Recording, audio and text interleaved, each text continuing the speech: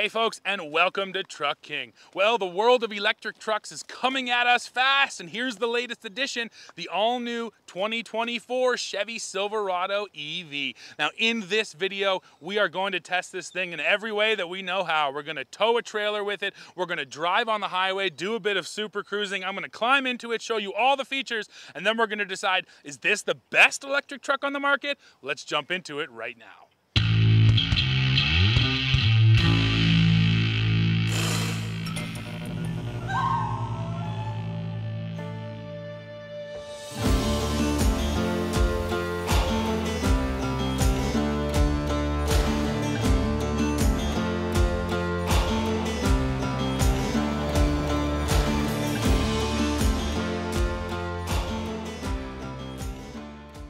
Let's start by going over the numbers, and they are pretty impressive. So this is the RST First Edition. You have to know that because the numbers do change depending on the trim you get. Well, for this truck, we have an overall driving range of 440 miles, and it can support 350 kilowatt DC fast charging. Now, if you can find one of those chargers, General Motors says you can recoup 100 miles of range in just 10 minutes of charging between 10% and 90% of overall charge. Now the next impressive number, horsepower, 754 of them, and this truck will make the jump from zero to 60 in less than four and a half seconds. Let's talk towing and payload. So I like to check on the door jamb sticker for the payload and GM still has the best towing sticker in the industry. It tells you your VIN specific payload and tow numbers. So payload here, 1,547 pounds.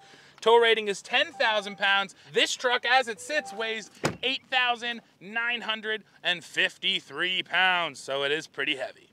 Looking at the business end of the truck, this is the only box you're gonna get. There's no different lengths. And we get Chevy's multi-flex tailgate, so you can open just your little gate, or open the big gate, and then pop the little one, and that comes down. It makes an excellent step to get up into your bed. Now this bed has a floor length of five foot 11, so a little bit bigger than what you're gonna find in a lot of short bed trucks.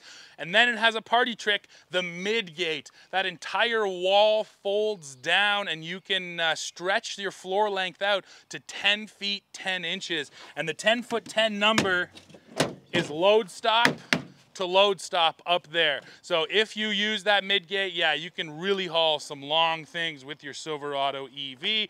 Now the other party trick here in the bed, quite a bit of power that you can utilize. So we have three plugs, one of which is a 240 volt plug, which can put out up to 7.2 kilowatts of power. So if you wanna drag your uh, dryer outside and dry some clothes, you can do that. Or maybe more realistically, you wanna put a welder in the back of your truck and run it off the 240, you can do that too. And there's a plug up there in the front in what Chevy calls the E-trunk. I would just call it a regular trunk, but they had to put a special name on it. But yes, there's also a plug up there and plugs in the cab, so you can really access your power from all around this truck. That's really about it now for features. Why don't we jump in and go for a drive? And now folks, we're hitting the road in the Silverado EV. And uh, right now, we actually have a over 5,000 pound box trailer on the back about 16 feet long. So, you know, about half of the truck's capacity. But the one thing with any high-sided trailer is aerodynamics come into play too. So that's always a bit of a better test, frankly, for a truck than, say, a flat deck trailer or something like that. And just come through this roundabout here. I'm going to put my foot to the floor and just feel the power.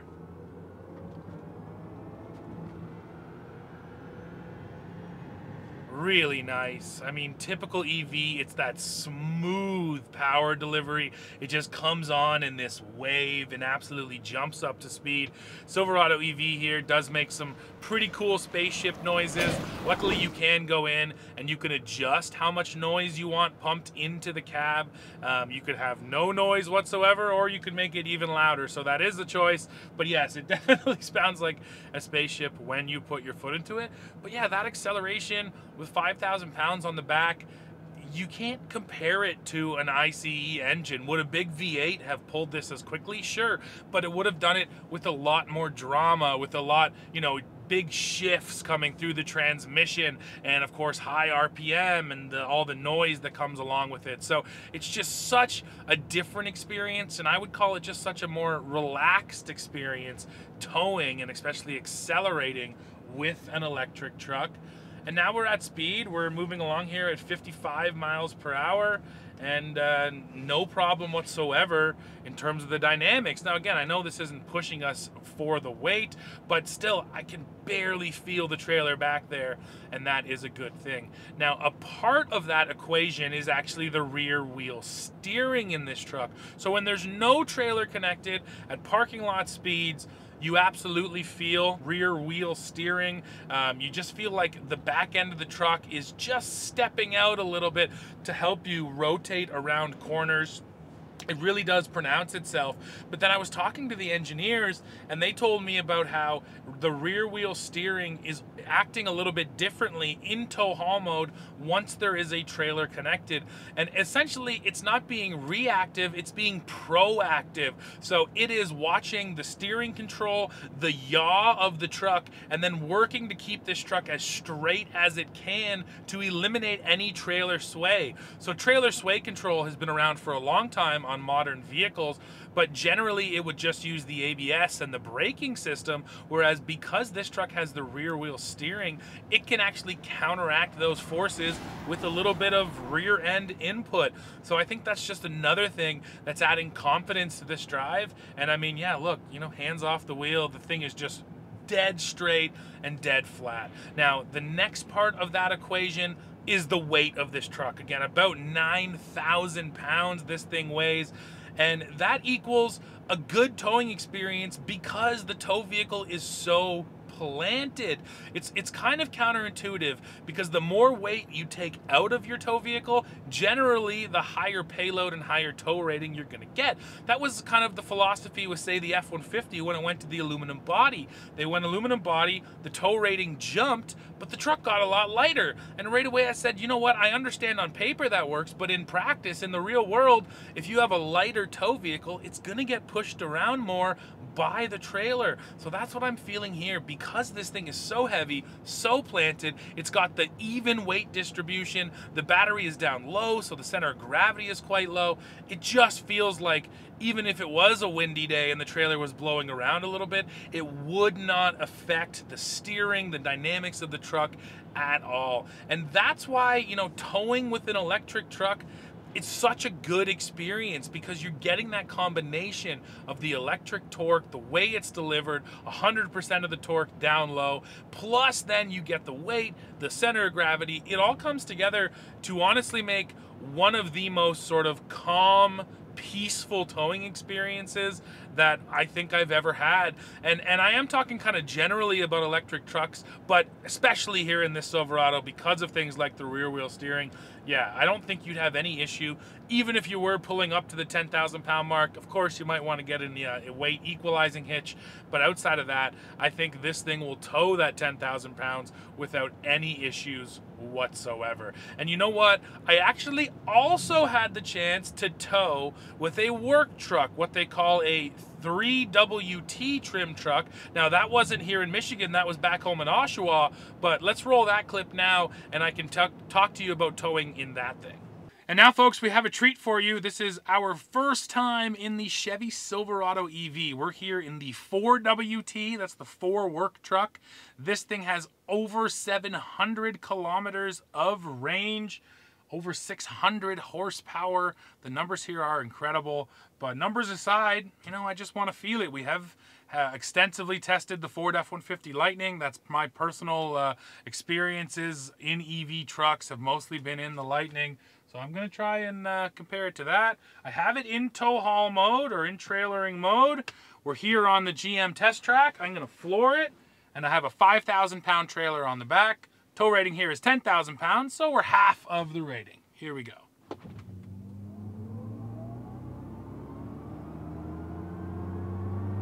Nice. Okay, so I've been driving it not in trailering mode for a while, and now it is.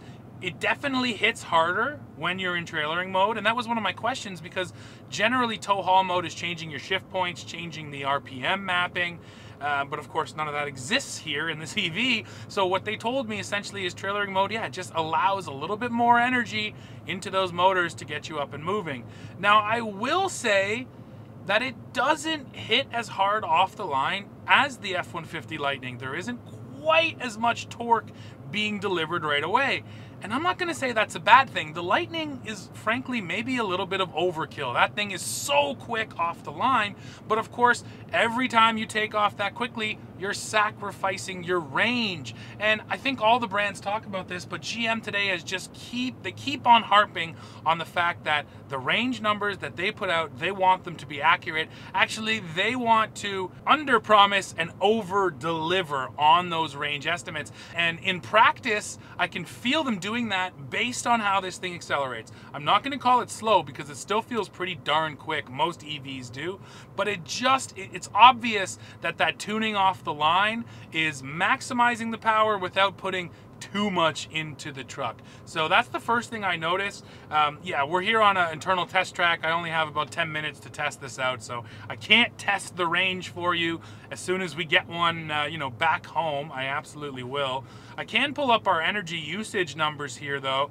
It's saying we're averaging 2.7 kilometers per kilowatt hour which is interesting. And of course, there's just different numbers now that you have to get used to. There's no miles per gallon, liters per 100 kilometers. None of those things apply anymore. And then within energy usage, and all EVs do this, it tells you what's using the energy. Is it the climate control that's using the energy? Is it actually driving down the road that's using the energy?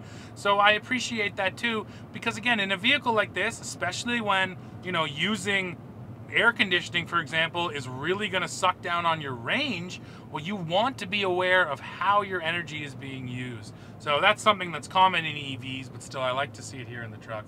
I know that range anxiety is an issue when towing. I know that towing is going to cut your range usually in half, but outside of that experience and the charging experience, pulling a trailer with this Silverado EV, um, it's just honestly more confidence inspiring, I would say, than pulling a trailer with an equivalent gas powered pickup truck. So there's still some hurdles that they have to clear. You know, charging stations meant for trailers is the first big one in my mind. They need to build more pull through chargers where they have a lot more space. But yeah, that is all coming. We're still early days, even though we're into this thing now for a number of years.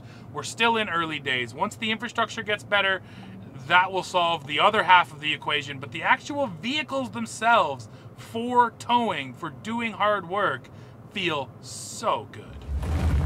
So back here in the RST, and one of the biggest differences between that 3WT and this truck that I drove is the power delivery. The 3WT just doesn't come on as quickly, not as aggressively, it doesn't hit as hard down low, whereas this RST, yeah, the power really does come on as a punch. And you know what? Especially when you activate wide open Watts mode. Yes, that is wow mode.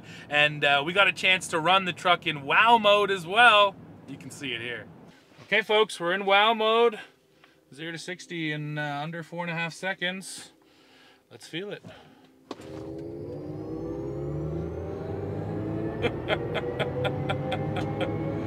and stop.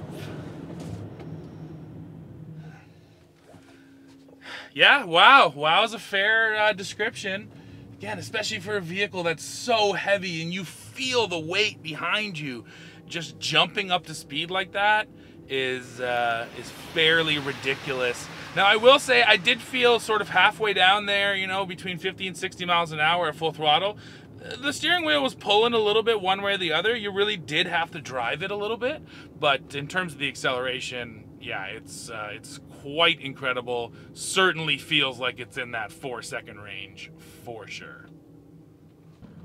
My last word on towing, I do have to mention, we do have all of the towing tech you'd like here. There is an integrated trailer brake controller. You are getting trailer profiles so you can save, for instance, your trailer brake gain and make sure that it's pulled up next time you hook the trailer up. And you have the automatic light check, so it'll check your lights for you and it'll flash your lights so you can check them yourselves. Plus the gross combined weight alert. So this thing will actually use essentially torque that is placed onto the motors. It can feel the load and and then using that, it can extrapolate whether or not you're overweight. That's something that the internal combustion trucks do as well, and it's here too. So yes, all the technology you want for towing is also here. Now, my very last word is to just mention uh, driving empty because I did that quite a bit today too. The truck is comfortable. It still has that planted feeling like I mentioned. I think the one thing that pronounced itself to me were the 24 inch wheels. You're getting massive wheels, small sidewalls, cruising on a flat interstate it feels okay. The second you get onto secondary roads or roads around Detroit that we were on with a bunch of broken pavement, the wheels tend to hit kind of hard feel sort of stiff. So there is definitely a downside moving up to those big 24s. And we drove a work truck that had smaller wheels on it, 18s, I believe. They might have even been 20s, but it was a noticeable difference. They just didn't have that hard, jarring hit when you went through sort of the broken pavement stuff. However, for the most part, I will still say it is a comfortable ride. But yeah, the tires and the wheels do pronounce themselves. Let's look a little bit more inside this truck now. So again, what we're in here, RST first edition. This is top of the line, fully loaded, 17.7 inch screen here in the center stack, a little over 11 inch digital gauge cluster up here. I also have a full head-up display, so you're getting all of that technology that you could want. And then when it comes to the interior appointments here in the RST, it's supposed to be, you know, the sporty trim, so we're getting the kind of red and blue stitching. The dash is sort of covered in more of a material with some texture to it than just being straight plastic. I don't necessarily dislike it, but here's sort of one of my first big complaints in this review.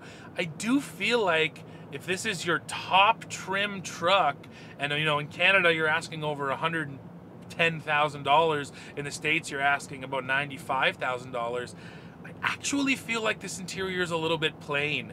And maybe it's just because I'm spoiled, you know? I just got out of a Sierra Denali Ultimate, but these days, these top trim luxury trucks are so gorgeous, the seats are so comfortable, and then I got in here and just felt like, yeah, the interior they could have gone a little bit further. If you really wanted this to be your first kind of wow moment to impress everyone in the industry, I just think there's too much black plastic, too many plain surfaces. Yeah, the interior could have gone a little bit further. Of course, you know what? I will admit though, this is obviously subjective. This is just what I'm feeling about the interior. So please take a look at it here and uh, weigh in in the comments. Do you think this interior looks like it's uh, worth the price tag? I'd be curious to hear your thoughts. Now, talking about the functionality of the interior, everything in here is great. First of all, we get this reconfigurable center storage down here. So the cup holders slide back or forward, depending on where you want them. You can open up this lid right here and get access to the storage down there. You can hide the cup holders fully. I like having options because it depends on what you want to put in there. Is it a computer, a laptop, a cooler, a purse? These are all different size things. So it's nice to be able to, yeah, switch it up for whatever whatever works best for you.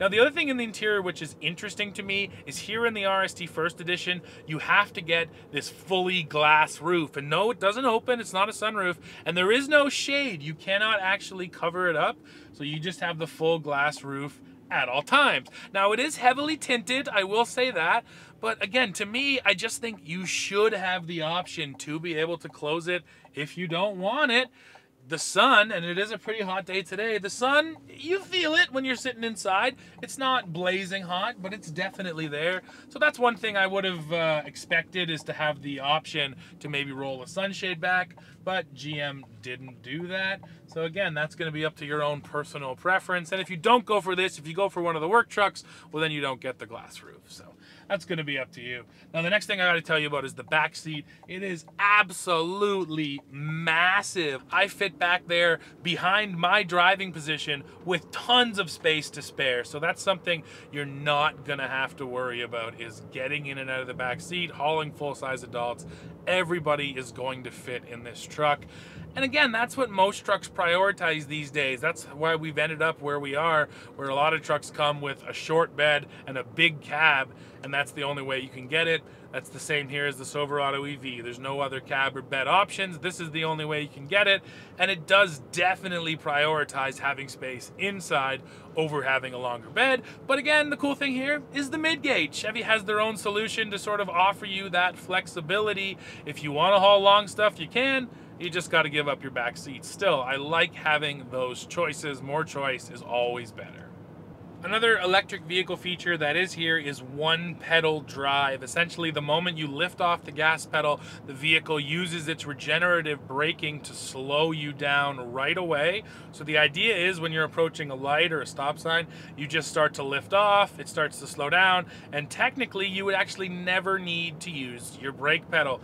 Now, don't get me wrong, I am a fan of one pedal drive, especially once you get used to it, but I also think that coasting, you know, when you have one pedal drive on, you never coast. Whereas I think coasting can still be a more efficient way of driving. If I'm not planning to slow down, coasting actually makes the most sense because you keep your momentum rather than slowing down and having to speed back up and you know use that power that you just scrub back from the brakes. So here in the Chevy, you have regular one pedal, a high one pedal, which essentially is more aggressive. But then what I really like is there's a paddle shifter over here at my left hand. So I, what I've been doing today is leaving one pedal drive off so that I'm able to coast like I'm used to, like I like.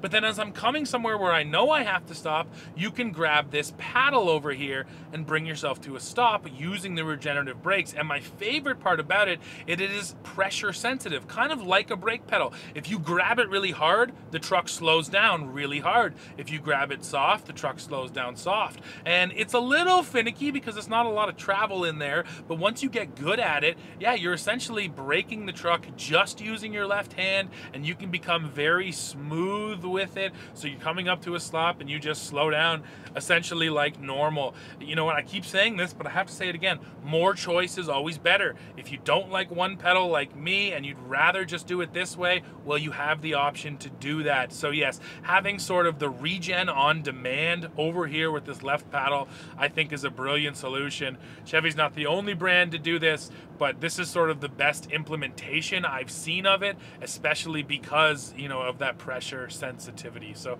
I've been appreciating that. And when you use it, the brake lights do come on. That is something that every EV should do. I believe most of them do, but it's still worth noting that yes, when you're you anytime the vehicle is decelerating, the brake lights should come on, and here in the Silverado, they do.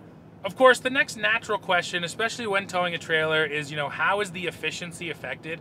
Well, driving empty today, I was regularly seeing two miles per kilowatt hour. And now I'm in this RST, which has been towing for basically the entire day. It's running about 1.4 miles per kilowatt hour. And again, the trailer does have high sides, but it's not all that heavy. So uh, yeah, we did lose about a quarter of our range. If the trailer gets heavier, bigger, longer, easily you could lose up to half your range. And that's still one of the biggest downsides to towing with an electric truck all of the actual kind of physical attributes are here to make it such a good towing experience. But if you have to stop and charge for, let's say, 40 minutes plus every 200 miles or less, yeah, going a long, long distance still will be annoying. Now, I think we're getting better. The ranges are going up. There's being a lot more attention paid by automakers to charging stations. Pull through charging stations are becoming a thing. I did also notice that on this truck, the charging port is on the rear quarter panel, which means you're gonna have to back into a charger. Of course, with a trailer on, that's basically not possible. So if you have to back in, you're gonna have to go disconnect your trailer. So those pain points absolutely still exist and the automakers are aware of it and they're hoping, especially with public infrastructure as it keeps on changing and evolving, that slowly but surely we get to more of a parity just when it comes to lifestyle with the gas truck. Now you may have noticed another thing hands-free. We are actually super cruising right now as well. Uh, super Cruise, of course, rolled out on interstates and major highways, but now it's coming to secondary roads. This is, uh, what is this called? Highway 52 here in Michigan, just outside of Ann Arbor, and it's not even a divided highway. I have traffic right there on the left of me and so far Super Cruise is doing a great job. Now I've Super Cruised with the trailer on quite a bit now, and I think my biggest uh, pro about it is just the way it actually steers the vehicle. You know, I was always taught when towing, shout out to dad, slow inputs. Everything needs to be slow and cautious and measured. If you put sharp inputs into a vehicle with the trailer on, you're gonna mess up the weight distribution and you can, you know, get into trouble really quickly. And that's what I feel from Super Cruise with the trailer, that as it's coming around corners, as it's navigating the road, everything is this nice, slow, calm input. And that then provides confidence to me and makes me feel better about allowing it to just, yeah, drive itself uh, while I pay attention. So Super Cruising with the trailer on, so far, I'm actually a big fan of the system. And it has to be said that as of today, this is the only brand that will allow you to go hands free when you have a trailer hooked up. So, uh, yeah, that is a unique technology to General Motors. And on especially a long road trip, it's going to take some of the stress out of the drive.